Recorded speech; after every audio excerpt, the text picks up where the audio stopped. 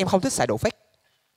Nhưng mà ngày xưa em từng xài đồ fake. Mẹ mua cái gì? Mình mặc cái đó. Nhưng mà mẹ em thì thương con. Được cái mẹ em rất muốn con mình xài những cái đồ tốt nhất. Mẹ mua hàng hiệu không? Mẹ mua cho em một cái áo gucci. Cái vấn đề của cái áo gucci này là cái chữ gucci đọc sao ghi y chang vậy đó.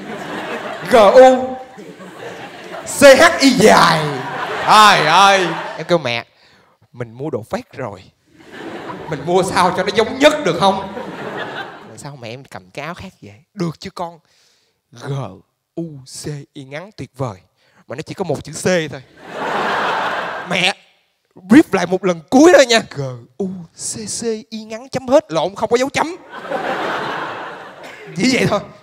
Cái áo cuối cùng mẹ mua về, tuyệt vời. G, u, c c, y ngắn. Có con cá sấu nữa.